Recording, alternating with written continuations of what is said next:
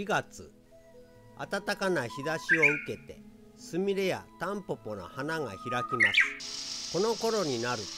田んぼでは田起こしが行われ眠っていた土が掘り起こされていきます。土の中で眠っていた生き物たちを狙って鳥たちがやってきます。でもカエルたちはまだ土の中で眠ったままです。5月の終わり田んぼに水が入れられ田植えの準備が始まると冬眠から覚めたカエルたちが産卵のためにやってきます。シュレーゲルアオガエルモリアオガエルアマガエル田んぼはカエルたちのコーラスで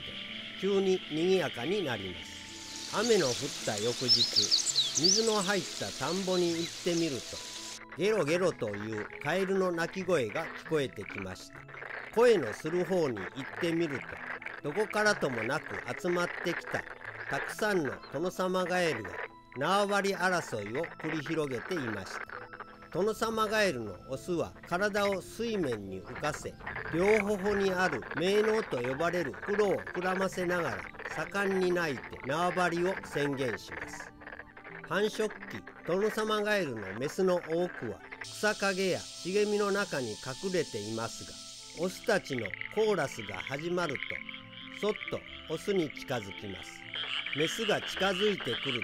とオスはメスの背中に抱きつきペアになります。トノサマガエルの産卵はオスの縄張りの中で行われることもありますが普通は縄張りから少し離れた場所で行われます。翌朝昨夜の産卵場所に行ってみると直径20センチぐらいの卵塊を十数個見つけることができました。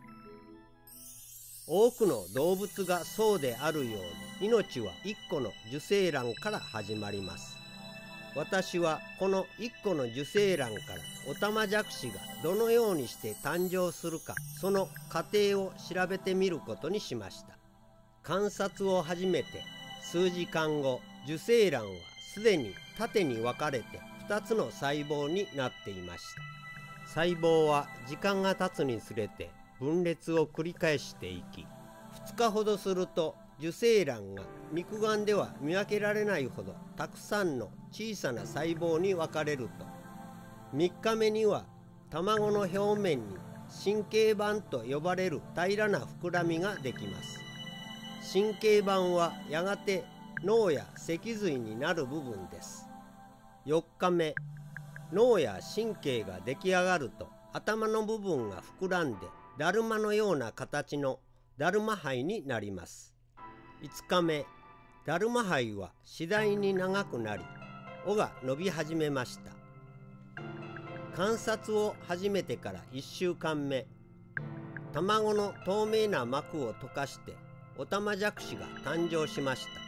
生まれたばかりのオタマジャクシは頭の脇に生えたエラで呼吸を行いお腹の卵黄を養分にして体づくりを進めます。6月の半ば田植えが終わり稲の苗が根付く頃田んぼは暖かな太陽の光を受けて青ミドロなどの藻類やプランクトンなどが大量に発生し新しい命で満ち溢れます。オタマジャクシは初めのうちは水草などを削って食べますが成長するにつれて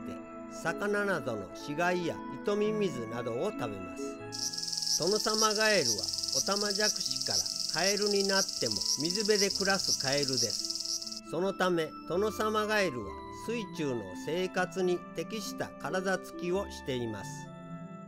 頭の上に飛び出た目は体を水に沈めても目だけを水面から出して外の様子を伺うことができるし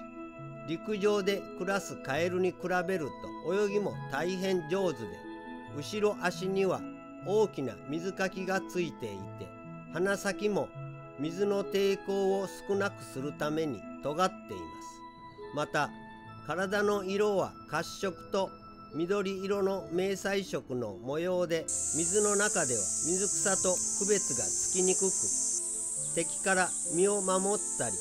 獲物を待ち伏せするのに適しています。トノサマガエルの餌はミミズや水辺で暮らす生き物たちですが特別な武器を持たないカエルには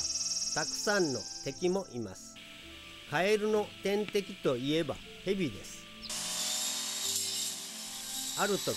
土手の草刈りをしているとシマヘビがトノサマガエルをくわえて足から飲み込んでいるところに出くわしました。少しカエルがかわいそうにも思えましたが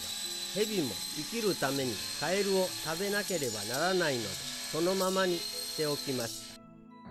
た。カエルはオタマジャクシの時はヤゴなどの水生昆虫に食べられますがカエルになってもカラスやサギなどの餌にもなります。